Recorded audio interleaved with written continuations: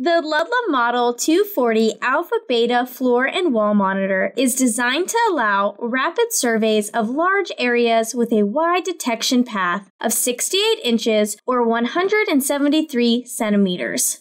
Compatible with either gas proportional or scintillation detectors, the Model 240 cart comes in versions that support both floor and wall monitoring or a floor style only version.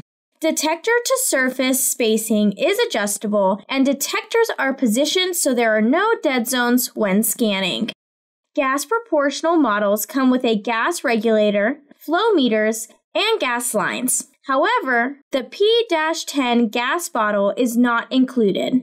The cart also provides two holders for spare detectors to provide for quick replacement if a detector becomes damaged. Utilizing an array of detectors instead of a single detector provides several advantages.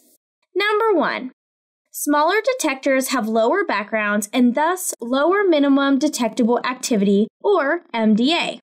Number two, small detectors allow the user to pinpoint the contamination.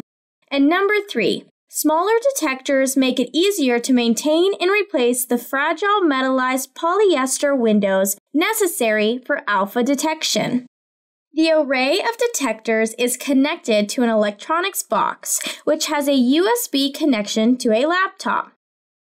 The laptop makes it easy to view all 12 detectors simultaneously. There is an alpha and a beta channel for each detector for a total of 24 channels.